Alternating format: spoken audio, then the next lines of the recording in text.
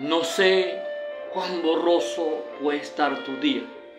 Y eso de ser borroso quiere decir que alguien le pasó una borra de lápiz quiso e intentó borrar tu comportamiento, tu forma de ser, tu manera de actuar, tu manera de pensar. Pero sabes una cosa, pásale borra a las cosas malas.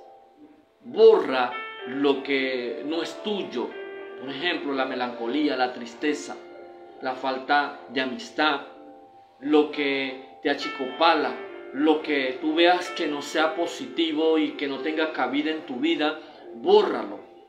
¿Sabes por qué? Porque con la sangre de Jesucristo se pueden borrar cada uno de nuestros pecados.